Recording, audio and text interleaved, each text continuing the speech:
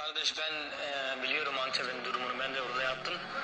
Ama e, sana demek istiyorum ki Hatay'daki cezaevinin durumunu bilseniz Antep'teki cezaevinde kardeşlerin yaşadıkları yani bir şey değil yani. Ya ben kısaca kısaca söyleyeyim sana.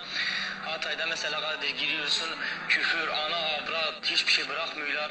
Sana çok ağır muamele yapıyorlar, dayak yiyor. Dayak için zaten önce geliyor direkt e, şey şeyin başı cezaevine girer girmez oranın başı müdürü falan geliyor dövüyor ondan sonra sıradan dayağı ondan sonra senin cezana yaptığın suça göre mesela tabi sadece bu Müslümanlar e, artık seni günlerce artık seni haftalarca tutuyorlar dövüyorlar ondan sonra koğuşa veriyorlar.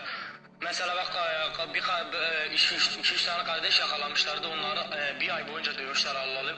Koğuşa verdiklerinde kardeşler diyor ki e, bir ay bunlar diyor belki de bir ay e, koğuşa verdiklerine kardeşler diyor buradaki kardeşler geldiğinde diyor bir ay ya da bir aydan fazla Allah alim diyor e, oturarak namaz kıldılar. Ondan sonra mesela Yine bu kardeşlerden biri Allah alim e, kulağı arıyor. Hani dayaktan artık kulağı artık duymamazlık olmuş. E, gardiyanlara söylüyor. Gardiyanlar götürüyorlar doktora. E, doktor doktor görüyor. Doktor diyor hangi kulağını arıyor. Mesela diyor sağ kulağın başlıyor doktor sol kulağına dövmeye.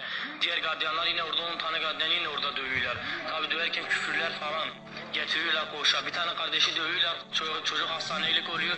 Çocuğa diyorlar konuşursan seni yine döveriz falan. Çocuk korkuyor yok tamam diyor. Götürüyorlar hastaneye getirirken hastaneye getirirken dövüyorlar. Kardeşleri götürüyorlar revize ana avrat falan küfür ediyorlar. Hiçbir şey bırakmıyorlar. Yani İskenderun'da kardeşin bir tanesini yakalıyorlar. Kardeşe diyorlar ki kardeşi dövüyorlar aç susuz bırakıyorlar. Kardeşe diyorlar ki bu bayrağı diyorlar rükû edeceksin. Ee, bu İskenderun'da dediğim yakalanan kardeş Suriyeli. Kardeşe diyorlar bayrağı rükû edeceksin. Kardeş de anlamıyorum falan deyince tabi işaret edince onlar da göstermişler önünde. Şu omuzlarının orada bayrak var ya bayrağı rükû ettiklerini göstermişler. Kardeş kardeş yapmayınca dövmüşler onu. Aç susuz bırakmışlar.